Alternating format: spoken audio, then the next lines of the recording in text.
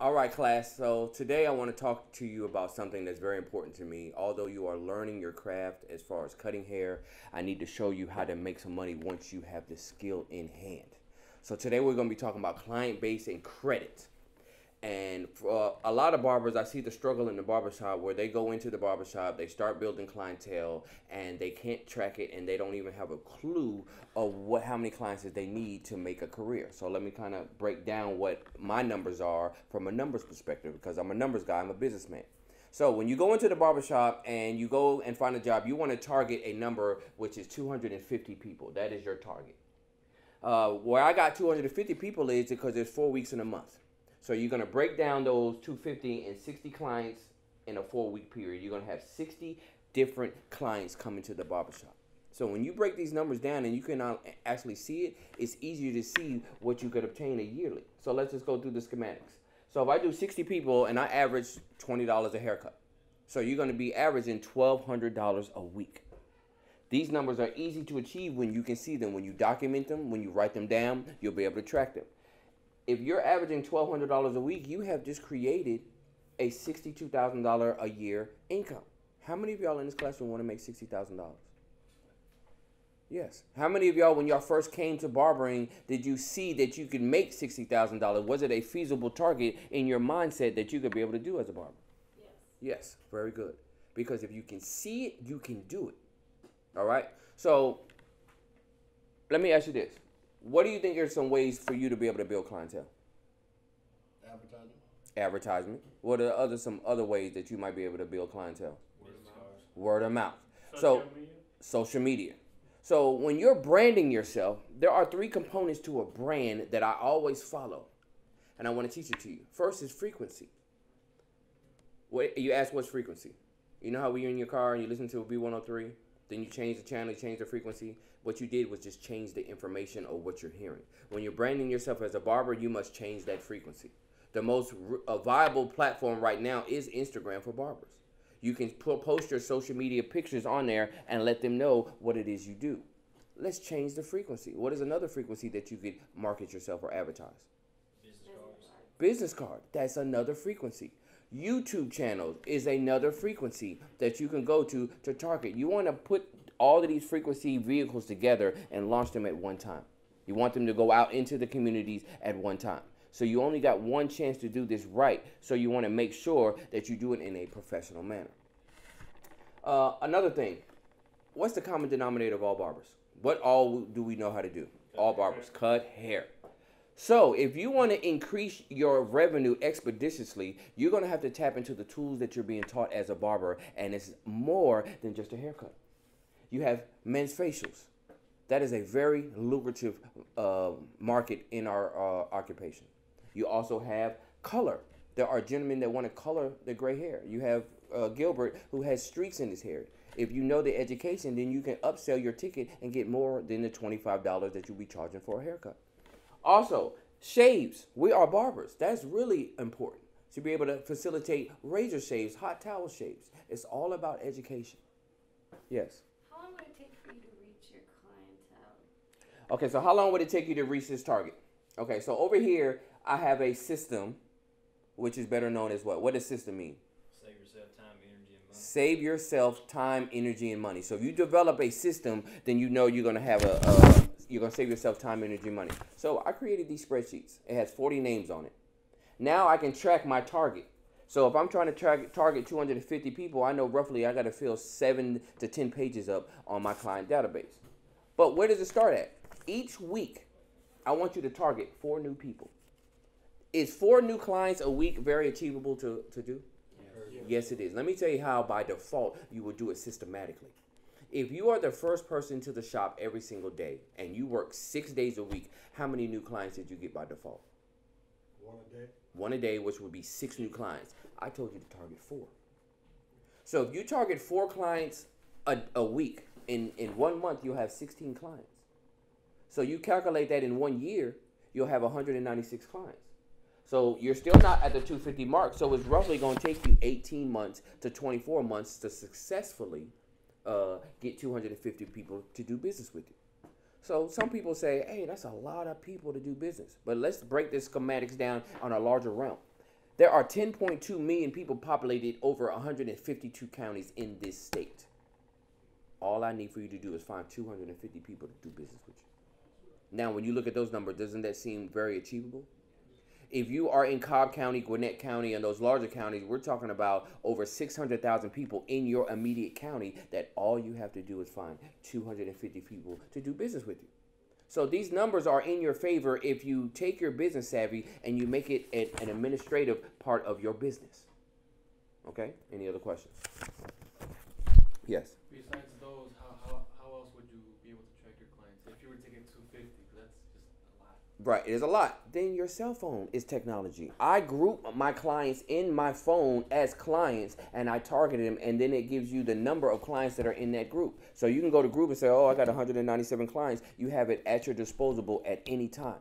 The reason why I like putting it on my phone is because I'm very cautious about my communication with my clients in the event that I'm not coming to work. I'll text my clients and say, Sorry, I'm not going to be in the office today. Sorry for any inconveniences. Please reschedule your appointment. Let's just say I wake up late or something, I have a flat tire, I can't make it to the shop till 12. I will text my clients and say, I am running late to the office. I will not make it there till 12. Sorry about any inconveniences. Somebody was en route to the shop.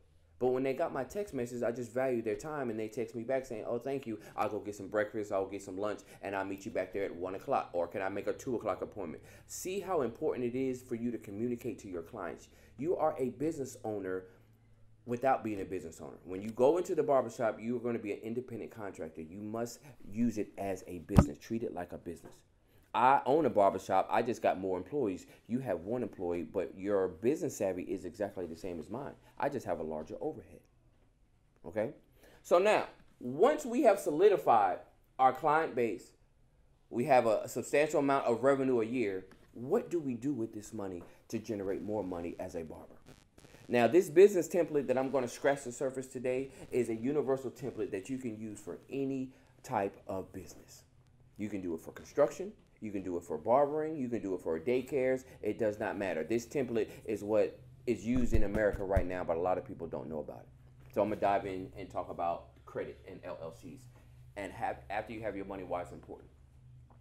Credit, it's a math equation. My all of y'all heard of my FICO, am I correct? So your FICO score is what lenders look at for you to be able to see if you're credit worthy. It is not governed by man. There is nobody sitting at a computer to say, "Hey, Eric, you didn't pay your bill last month. Let me recalculate your score." It is a math algorithm that is computed for you based on your payment history. So, it was made by a mathematician and an engineer, and they got together and created this equation. This equation is in your favor because what do I say about a system? Save yourself. Save yourself time, energy, and money. Okay, so when you understand the system and you get these credit cards, there's a thing called utilization ratio. A lot of people say, Mr. Powell, I don't want credit cards. They have this mindset that credit cards is bad, that you don't need to do it. They are bad if you cannot manage them and you have no discipline. They are very bad for you. But in America, if you do not have debt, that math equation that's computed does not give you a score. So you must create some type of debt in America to show the lenders that you are credit worthy. If you on a cash to cash basis, that's fine. You can pay all your bills on time. You can buy your car cashes, but that doesn't give you any buying power. Some people will argue, well, Mr. Powell, if you have the capital, then why uh, get credit cards? Why get in debt? Let me tell you, what is the definition of business? Does anybody know? Let me tell you, when you maximize your profit and you minimize your costs, that is the nature of business. So if there is a formula in place that allows you to use OPM, which means other people's money to generate you more profit, wouldn't you take this system and, and apply it for yourself? Yes. So that's where the, the debt comes into handy. You want to you want to get it is how you manage that debt and leverage that debt that the lenders look at for you to be able to get large amounts, twenty thousand, sixty thousand, even a hundred thousand dollars worth of lines of credit. Okay. So the utilization ratio is comparison to the credit card. Tiers are different levels that you must go through before you can reach credit worthiness. There's a system that is in place that you need to go through. Uh, in the start of your credit, if you have a blank credit file, you're going to start with a small credit card, Capital One, $200 limit. You must maintain a 30% ratio on all your credit cards. So if I have a $200 limit and I need to stay under 30%, then that means I cannot spend no more than $60 on that card at any given time. When you're building credit, and this before you get a nice score, do not make a mistake on the utilization ratio or the tiers that are in place. So your credit card comes, it's $200, you spend 60. When the bill is due, some people will pay the whole entire bill off. That is a mistake. The reason why it is a mistake is because when you pay the bill off and the credit reports is going to report your utilization as zero. That means you had no utilization ratio. The math equation is only going to go up if this utilization ratio is under 30%. So if it says zero, then you get zero. You see how that works? But if it reads 8%, 12%, then your the math equation is going to kick in that you're credit worthy because you know how to manage credit. So do not pay your credit card off in full. Pay $50, leave a $10 balance. You are going to get hit interest, but you're going to get hit interest on a dollar thirty-two cent, a dollar forty-two cent, based on it. It's pennies on a dollar, but it's you're paying into the system for your credit score to go up. Again, it's called other people's money. You use the bank's money to leverage your lifestyle, not your lifestyle, your business endeavors. You leverage your investments when you're trying to make more capital for yourself. This is when credit is very, very good for you. How long should it take to leverage your investment? Very good question. So, leverage your investment. Let's just say it takes thirty thousand dollars to open up a barbershop, turnkey, and you take one of your lines of credit that you have fifty thousand and you swipe thirty.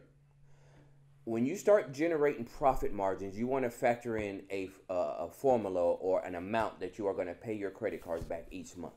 So let's just say my barbershop is reining in a four thousand dollar profit. I'm gonna leverage thousand dollars a month on that thirty thousand dollars. So how long is it going to take me? It's going to take me 30 months to pay my investment back. So a little over two years. Some people are going to pay $1,500 a month and leverage it in 24 months. But you want to leverage that investment and pay it back because it, two things happen. One, you're debt free, and now you have an allotment of money to go into a different business business endeavor, or you can open up another barbershop. Two, the lenders are going to say that you're very disciplined and structured with paying the $30,000 back. When you apply for a line of credit, it's going to be double than what they initially gave you. They're going to give you 60000 So this template is a successful way for you to make money, use the bank's money in the process, and never use your profit margins, and you'll create wealth over a 10-year run. Okay? Now, I know this sounds like a lot of information, but once you start doing it like anything, it's repetitive, it's a learned behavior, and we are creatures of habit. So that habit of you being disciplined and you paying your bills on time, this is what it starts right here in this classroom. So not only can you be barbers, I've shown you how to expeditiously target and track your administration of your career. Once you get the capital, you translate it into the credit world, leverage the bank's money, and still save your $62,000 a year into your account. Why have $62,000 a year in your account and then take 30 of it, 50% of your savings out to bootstrap your business? That is not a good idea. It's suicide. But they don't teach us that, there are other vessels and vehicles that you can obtain money without spending your hard earned cash.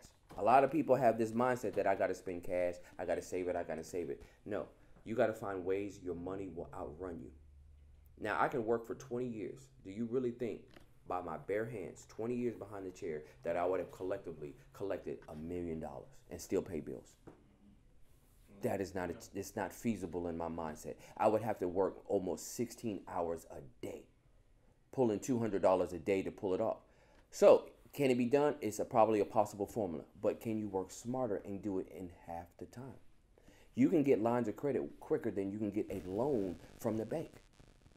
Before you get tangible cash, like I go to the, the bank and says I want to borrow thirty thousand, and you walk out the bank with tangible cash, you can get a line of credit quicker and easier than you can get an actual loan.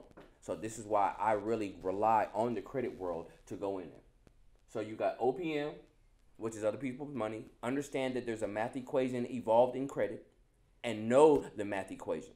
Understand that the utilization is the most important part of your debt that you have to manage. Stay un- under thirty percent and you got to follow the tiers uh, that are involved in the steps that you get before you get your uh, large amounts of credit. And of course, to leverage your investment. You want to leverage your investment.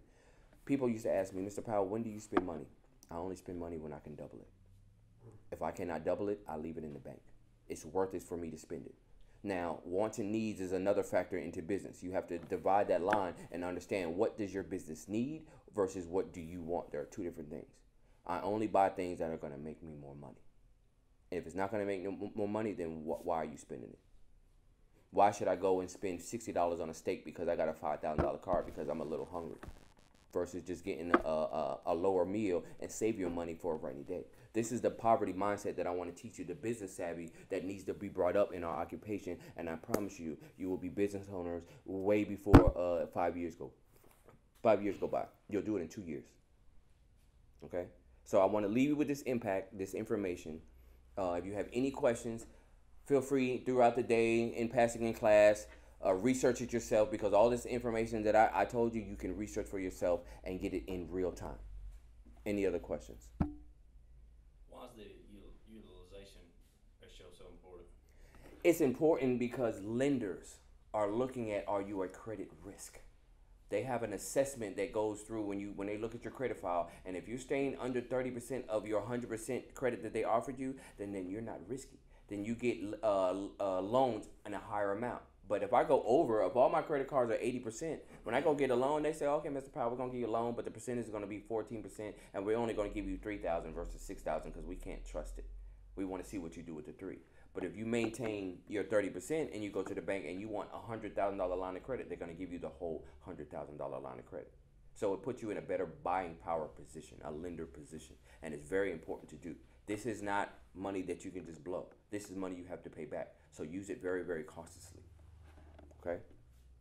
All right, so I appreciate it, class. This is the business side of what I do. It means dear to my heart, and I want to make sure that y'all are better barbers uh, coming in. I mean, leaving than you're coming in. All right, thank you.